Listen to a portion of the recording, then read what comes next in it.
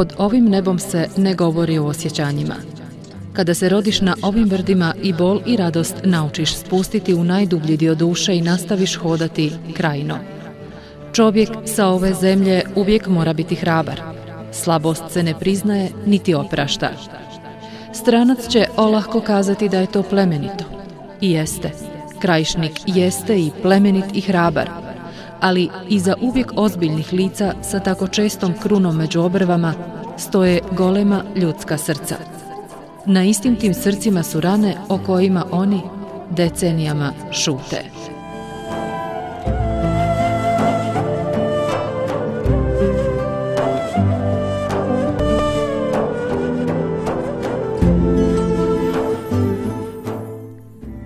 Maj 1950. godine.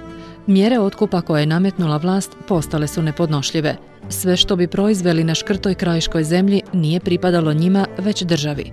Ako zemlja i rad ne bi dali onoliko koliko je država propisala, glava kuće je morao dokupiti. Njoj državi nije smjelo faliti.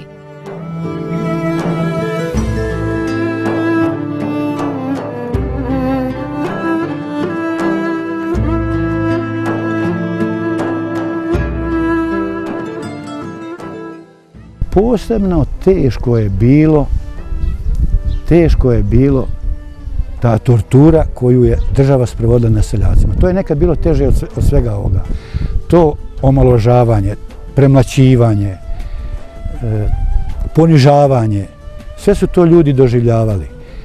I e, nazivalo je kulacima. A šta je kulak? Kulak je sovjetska riječ koja znači čovjek koji u stvari voli raditi, koji ima. A u našem pojmu, kad ga nazove kulak, smatralo se da je državni neprijatelj. A kad je državni neprijatelj, onda je sve dozvoljeno. Sve. Od toga da ga prebijaš, od toga da ga šalješ na e, taj društveno koristan rad, da mu uzimaš i ono što nema. Kaže mi jedan svjedok, Ahmete, tuđe odbornik kao stručnjak da procijeni koliko ćeš ti imati žita kad zasiješ. A to što je godina bila sušna, on nije došao pa da kaže umanjću ti sad tu kvotu, nego je ta kvota ostala ista, a onda je on morao u kirijanje preko korene da dokupi tamo žito ili neki drugi proizvod koji je morao dati, a familija. I to je to što je ljude natjeralo na bunu, na ustanak. Dakle, ustanak je bio protiv nepravde, protiv nameta koji narod nije mogao izdržati.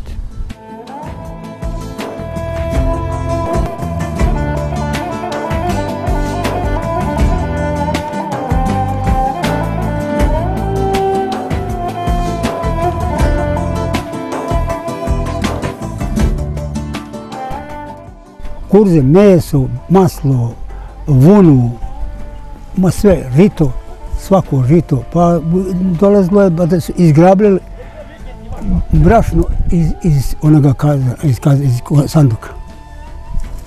Izvadili su brašno, tako da je brašno moralo, moralo namirivati, moralo, ne, ostane pa nije ništa imao. U nas, u nas je, na primjer, šenc, neka nam radila nije, pošto ova zemljana nije tako podnosila dole sijama. Nikada nam nije šenca radila, ali smo morali kupiti.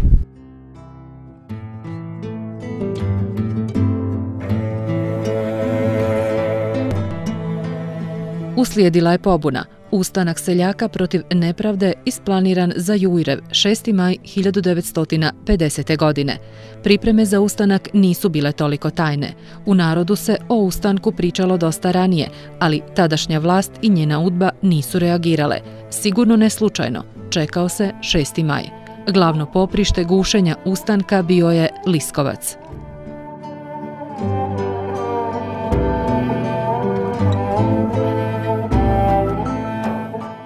Ti dana se e, najviše sjećam po tome što je e, familija Ale Čovića već tu veče, zapravo 6. maja je bila Alina, supruga moja majka, dovedena ovde na strijeljanje jer navodno nije htjela da im kaže gdje je Ale, a ona u suštini nije ni znala gdje je on. Sutra dan su i nas djecu svu doveli ovde i zatvorili nas u šajer Huske Ajkića koji je otprilike ovdje bio. I tu su nas držali, ujutru su nas doveli, a već do podnije smo kolima Mehmeda Đogića uz pratnju vojske prebačen bili u Cazin na streljanje. Do streljanja nije došlo, e, zahvaljujući udbovcu Ahmetu Kolenoviću koji je spriječio i naredio da nas vrate nazad. Ostalo mi je u sjećanju e, u to vrijeme kad smo bili upravo tu, u taj dan, da su ovdje u ovome pravcu prema Pećigradu postrojili bandite, kako su i tada zvali, ustanike Liskovačke, vezane u četvorke štrikovima i otprilike bilo je oko 50 koji su pratnji vojske krenuli prema Pećigradu oko 7 km odavde udaljenom.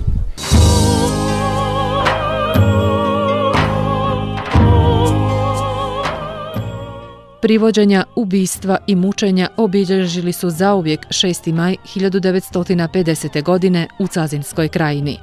Većina ustanika je odvedena, ali je nemali broj ljudi koji su stradali na kućnim pragovima i u okolnim šumama. Za neke čak nikada nije ni dokazano da li su imali veze sa ustankom, niti se do danas zna zašto su ubijeni.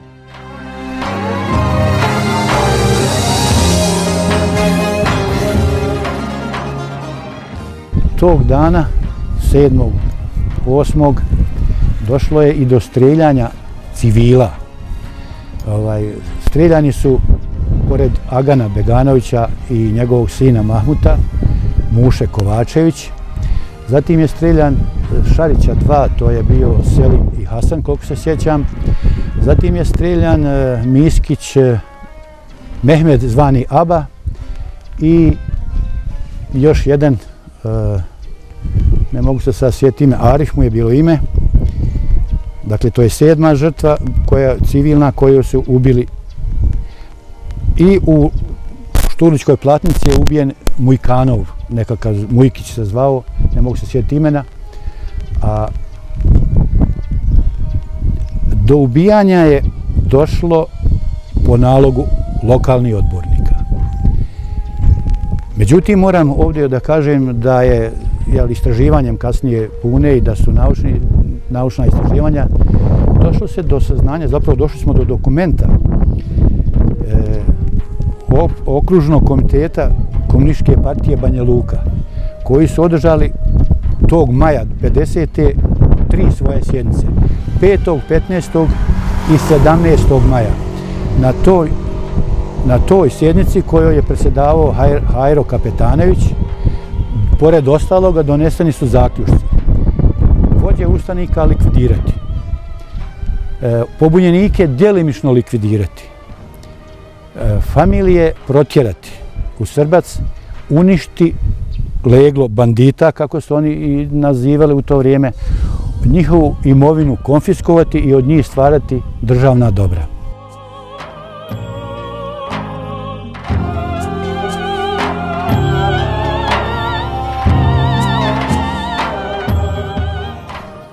Ubistva po Liskovcu tog 6. maja 1950. godine nisu bila posljedica puškaranja. Načini likvidacije u skoro svakom od slučajeva bili su stravični, lišeni svake ljudskosti.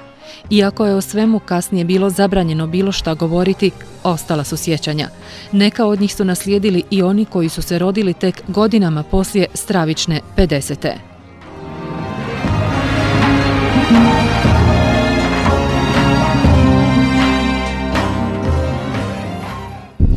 Šuma Cerikvi, kako vidite ovdje ispod Liskovca. Tu su ubili mušu Kovačevića. to je bilo naročito svirepo ubijstvo. Mušu su uhvatili i tu su ga tri vojnika dovela i svezali za jedan hrastić. Tukli su ga.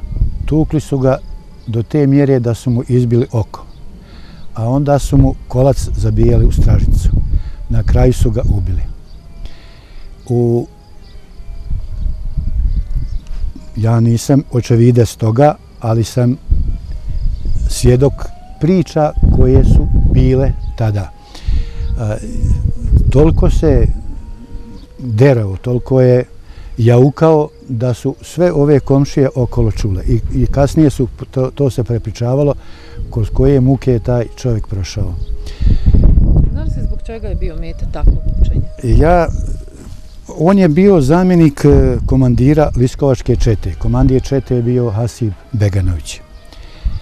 Međutim, to nije bio razlog za njegovo ubistvo. Kao što je, recimo, nije bio razlog za ubistvo mnogi ovi koji nisu imali neku značajnu ulogu.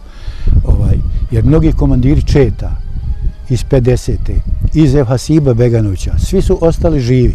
Svi su oni bili prvo suđeni na smrt, a posle je pomilovan na 20 godina i niko od njih nije do kraja izdržavanja kazne bio više od 10 godina. Dakle, nisu komandiri četa ni njihovi zamjenici po funkciji ubijani. Do ubijstva Muše Kovačevića je došlo samo iz mržnje odbornika prema njemu. On je bio prema svjedočenju njegovog sina izuzetno pobožan čovjek. On, je, se, on se narošto suprostavljao pa i na javnim mjestima onima koji bi psovali Boga, sveca i tome slično. A ti godina iza rata 50. bilo je moderno govoriti da nema Boga, da ne treba vjerovati, pa znate i sami da su mejtefi bili zabranjeni i mnoge hođe proganjene, nažalost, i tako dalje. Dakle, Muše je bio jedan od ti narodni ljudi koji nije mogao to trpiti. I to je bio razlog što su odbornici pružili u njega prst.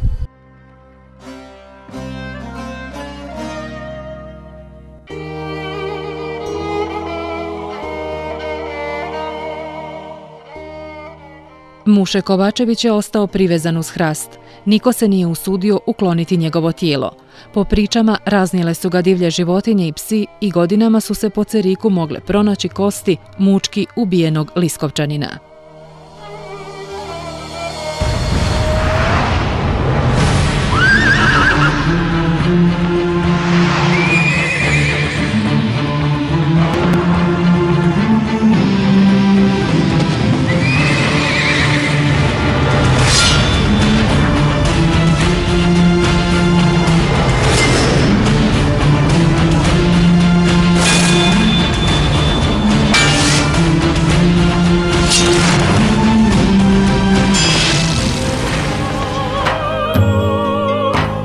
Mahmud Beganović bio je tek dječak u 17. godini.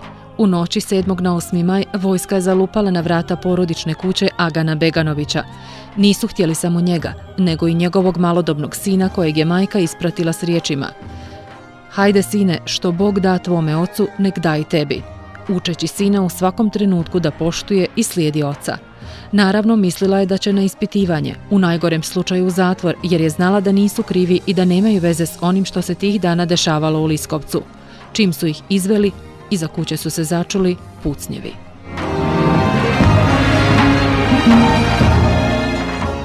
Posebno je tragično bilo ubijstvo Agana Beganovića i njegovog sina Mahmuta. E, to je bilo 7. ili 8. Ne mogu, maja 50. godine kad je prezoru se čuli pucnji a ja sam bio u kući suprotno odavde gdje se vide ove kuće, to je bila kuća Alečovića. S prozora naše kuće ujutru mi smo vidjeli ovdje dva tijela, to se dobro vidjelo, u bijelom su bili.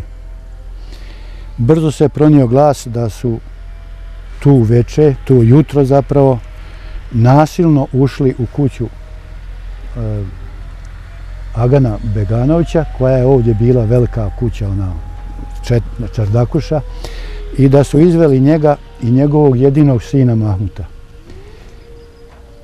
Prvo su, Mahmut je imao 15 ili 16 godina. Ja. Prvo su pred ocem ubili Mahmuta, pucali zapravo u njega, a onda su ubili oca. Mahmuta prema svjedočenju njegove jel, familije nisu odma ubili, nego je on pokuš, bio ranjen. Pokušao je da ustane, tad se vojnik vratio i ispucao ponovo u njega i dokrajčio ga. da bi to izgledalo što užasnije, što teže za familiju, sve su to posmatrala Aganova žena ili majka Mahmutova i njeni pet maloljetnih čera. Sve su to posmatrali sa prozora svoje kuće. Njima su naredili da ne smiju zakopati i dirati te leševe, zapravo, jel, mejte, navodno on će se ponovo vratiti pa će to učiniti. Međutim, to se nikad nije desilo. Da ne bi psi i druge zvijeri došlo da razlače to, one su se usudile i to najstarija čerka, one mlađe nisu ni mogle jer sve je to bilo u šoku. One su tog dana došle i iskopale nešto ovdje mezara koliko su one mogle, pokrile ga sa onim vunenim prekrivačem, kako se ovdje zvali biljci, i negdje otprilike 30-40 cm zemlje na njih nabacali. E sad, ja sebi često postavljam pitanje zašto je Agan i njegov sin, zašto su ubijeni? I to na tako jedan svirep način. Agan nije imao neku ulogu u, u, u, u, u ustanku. On nije imao nikakvu funkciju.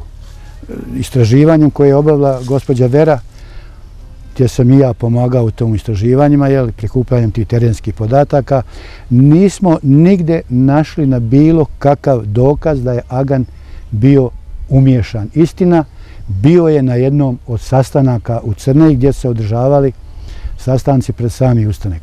Ali njegov sin niti je učestvovao, niti je bio, a jedinjak je bio. I ovo ubijstvo je ostalo nejasno meni do današnjeg dana.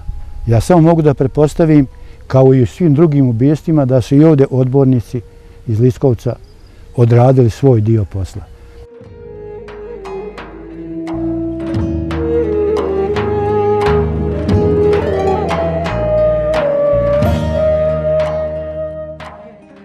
Kako se osjećam, kad god dođem, kad god prođem, ja se sjećam jer ko je bio, nerazdvojeni smo bili, ja i Mahmut Rahmet, a nema tu šta ćeš.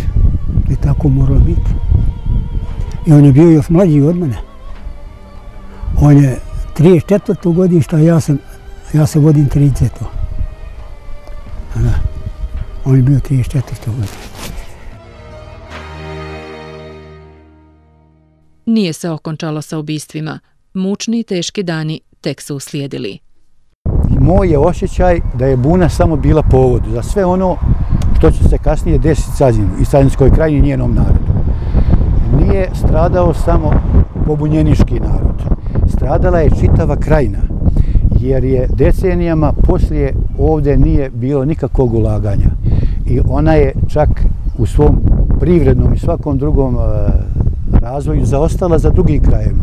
A bilo je normalno, jel, kad su pohapsili te ustanike, streljali, otjerali u zatvore, familije njihove protjerali u logore u Srbac. Dakle, ovaj banditski teren, kako su ga nazivali, je očišćen od bandita, jel, od narodnih državnih neprijatelja. Bilo je normalno da ovaj region ovaj, ima isti status kao i drugi regioni u, u Jugoslaviji. Međutim, to se ni bliza nije desilo i mnogi istraživači, a i moje je mišljenje da je Buna samo bila povod E, državi, državi jeli, opravdanje da učini to što je učinila u periodu koji je kasnije slijedio.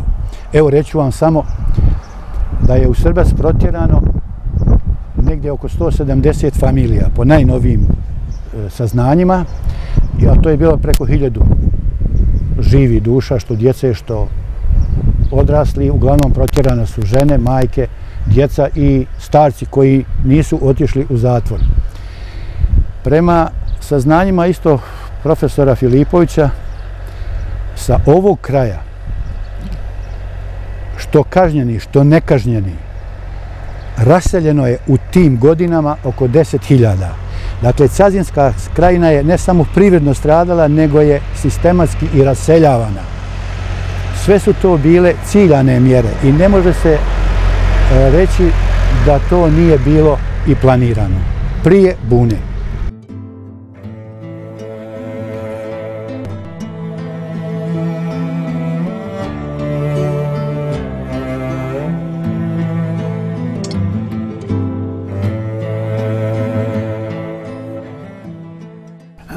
Sam dobio 18 godina.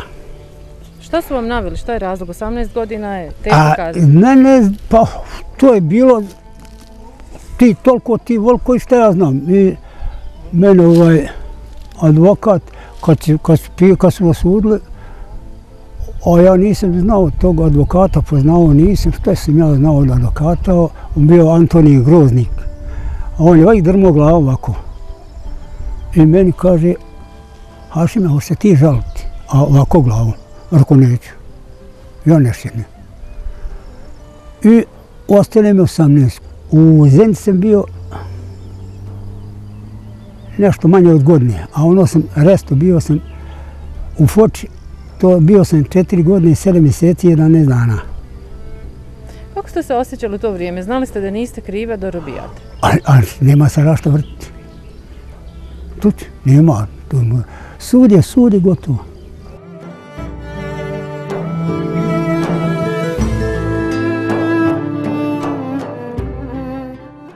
Većini je ljudi oblikovana nova svijest. Razmišljati o tome da li si kriv ili nisi i onako je bilo uzalud. Zatomiti sve osjećaje dostojanstva i ljudskosti bio je osnovni zadatak ukoliko se željelo dalje živjeti.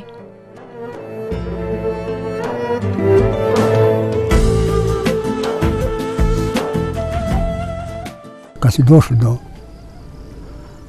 Milana Čovića, on je bio osuđen na smrt. I tako da je kad je otišao tamo pomilovanje. Slavo je poslao je molbu, pomilovanje jedno 20 godina. I onda su njega zvali isto da ga pitaju zašto on suđen 20 godina, šta je radio on toliko. Kaže, išao sam, samo što je kao i ovi drugi ostali, kaže, šta ću platiti ništa. Pa kaže, osuđen s 20 godina. Bio si osuđen na smrt. Pa kaže, i rekao si to, priznao si to, priznao si to, kaže, ja sam morao priznati. Kaže, kako? Ho, pa kaže, da izvineš, kaže, batine bi, kaže, načerali, ne znam što. Kako je, batine, po zakonu se ne smije tući, kaže, ne smije po zakonu, ali smije po, po moje leđi. Pa zavrne košulje znaju se lanci, kako su lancem tukli. A ovdje se bilo na rukama, karike sve uslikane, kad je vezan lancima. Kaj je to znak da sam ja morao? Nama sklopili papire, kaže, morate ići. I ja sam trebao da dođem, ja slušao na vrat i sve što mu priča. Kaže, morate ići, hajde, kaj prekidamo. Posle su došlo pomilovanje, pomilovao onoga, pomilovao onoga, meni skinulo 10 godina, ne znam, zaboravio sam sve koliko, koliko je koje me skinulo. Sad ovome Smajlo on je najviše ostao, jadnik on je naj, najviše ležao, a najmanje je kriv bio. Bio suđen 15 godina, 9 je ležao. Smajlo Ajić. Zbog čega? Niko ne zna. Toliko, točno. I tako je to bilo.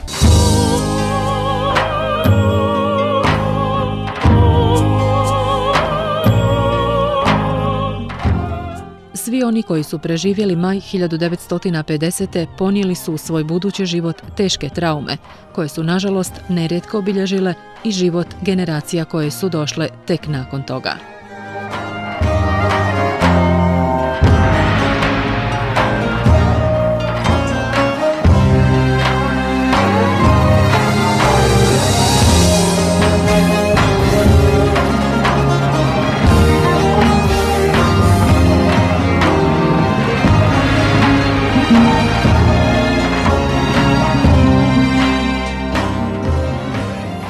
Nismo smilo bilješti to, nismo ništa. Ja kao dijete, znate želje to, ja e, zamišljao sam kako bi meni život izgledao, da li bi ja bio tu gdje jesam, e, da je moj dajđa živ.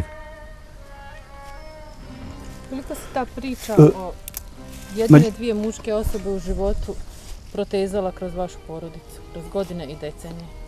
Godinama, decenima, godinama to se protezalo. Kad sam ja bio punoljetan, smogao sam snage, Podigli ste jedan više. Dženaza nikada nije da im obilježim spomenik tu, onako kako sam ja mogu i umio. Dženaza im nikad nije klanjata. O tome se nije smilo ni razgovarati. Tako da je u mene mati. Tri infrakta živla. I u 40. nekoj godine je umrla. Eto ti.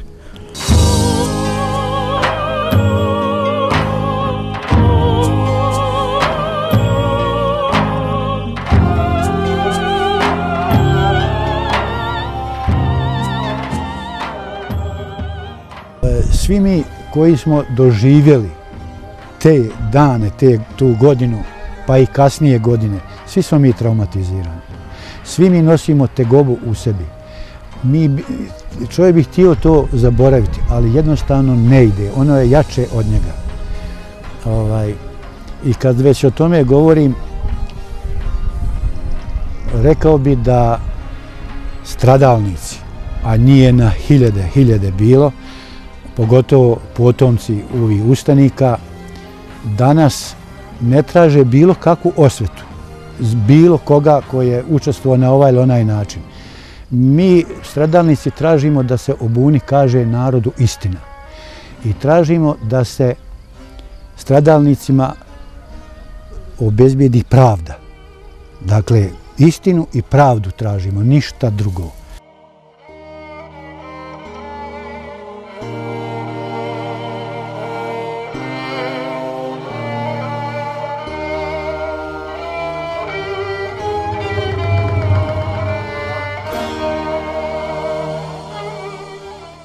Niko ne zna koliko je još teških i tužnih priča iz Zazinske bune. Gotovo sve su još uvijek neispričane. I sve ovo samo je naslov priče koja će napokon ugledati svjetlo dana. Ne poznavati svoju prošlost vrlo je opasno. Bošnjaci takve lekcije prečesto ponavljaju. Krajišnici više nisu oni što iza mrgodnog lica skrivaju svoju tugu.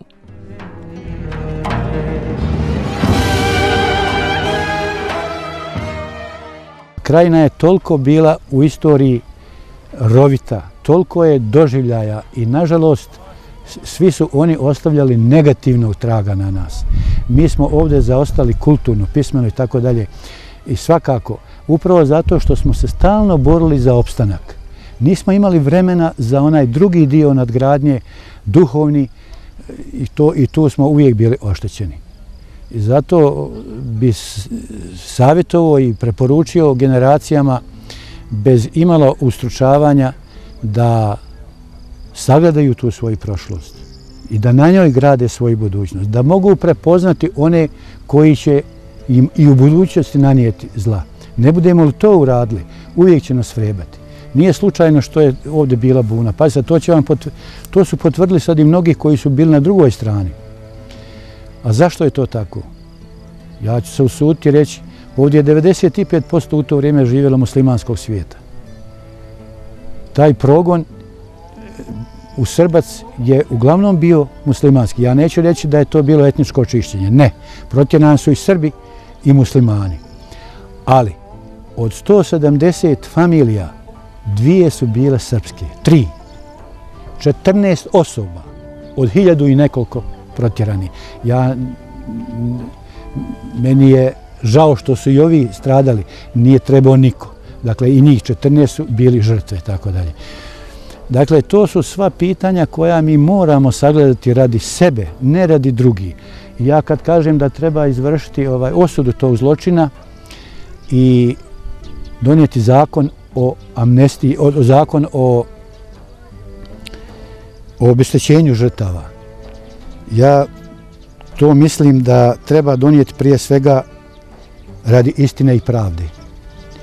A, ovaj, rehabilitacija je najmanje potrebna ustanicima. Oni su svoju rolu odigrali i oni su otišli u istoriju.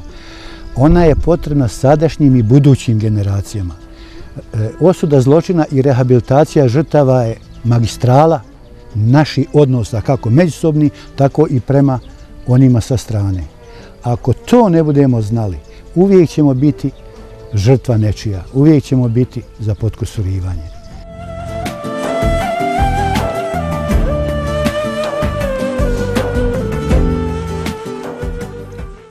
Doktorica Vera Kržišnik-Bukić podarila je Cazinskoj krajini dokument nemjerljive vrijednosti. Knjiga Cazinska buna 1950. osnov je i temelj svim istraživačima koji dolaze – Općina Cazin je 2011. godine donijela rezoluciju o osudi masovnog kršenja ljudskih prava civilnog stanovništva u Cazinskoj krajini 1950. godine i zločina od strane totalitarnog komunističkog režima bivše Jugoslavije. S ova dva dokumenta nove generacije krajišnika mogu napokon znati pravu istinu i napokon skinuti stigmu krivnje koja im se decenijama neopravdano i nepravedno prebacuje. Krajišnici 1950. godine nisu izvršili državni udar, nego su se pobunili protiv nepravde koju ni tada, a ni danas ne trpe.